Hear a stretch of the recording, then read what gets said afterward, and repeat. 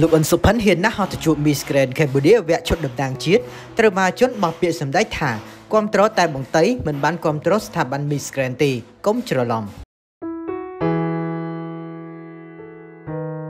បើក្បាលដំបងអេមីនសូមសរសើរដល់បុគ្គលិកតំណាងកម្ពុជាកញ្ញាពេជ្រវតីសារវឌីទោះបីជាមានការប៉ះពាល់អារម្មណ៍យ៉ាងណាក៏ដោយ ក៏បបកញ្ញារូបនេះនៅតែធ្វើបានល្អបំផុតនៅត្រង់វគ្គប្រកួតឈុតតំណាងជាតិនេះតែម្ដងគេដឹងហើយថាអ្នកគ្រប់គ្រងគ្រប់គ្នាភ័យបកពោះត្រង់ឈុតតំណាងជាតិគូប្រៃព្រោះគេគិតថាវាអាចនឹងប៉ះពាល់ដល់អារម្មណ៍នាងដោយសារតែមហាជនមិនពេញចិត្តនៅក្នុងការយកឈុតនេះទៅប្រកួតនៅលើឆាកអន្តរជាតិឡើយហើយគេមិនពេញចិត្តយ៉ាងខ្លាំងទៅលើទង្វើរបស់ស្ថាប័ន Miss Grand Cambodia យ៉ាងខ្លាំងដែលខ្មើតមិនទទួលយកការរិះគន់ដើម្បីស្ថាបនាតែបែរជាផ្កើនឹងអ្នកគ្រប់គ្រងទៅវិញ ដោយឡែកសម្រាប់ការប្រកួតឆ្នាំនេះវិញមានការចាប់អារម្មណ៍យ៉ាងខ្លាំងគឺលោកអិនសុផិនដែលគេស្គាល់ថាជាស្ថាបនិក Miss Grand Cambodia បានហោះទៅជួបបវរកញ្ញាតំណាងកម្ពុជាខុសពីឆ្នាំរដងហើយលោកថែមទាំងថតរូបញញឹមស្រស់ជាមួយនឹង Miss Grand Cambodia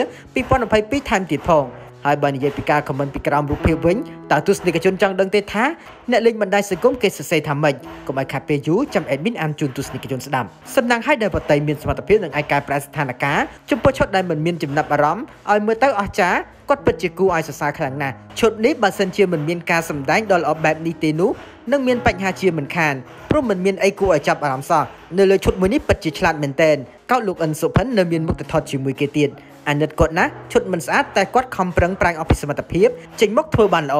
បើសិនជាយកឈុតឲ្យគាត់ស្អាតស្អាតល្អជាងនឹងនោះមិនដឹងជាគាត់ធ្វើបានល្អប៉ុណ្ណាទៅតែក៏សូមសរសើរគាត់ខំប្រឹងដើម្បីមុខមាត់ជាតិអរគុណណាស់ my princess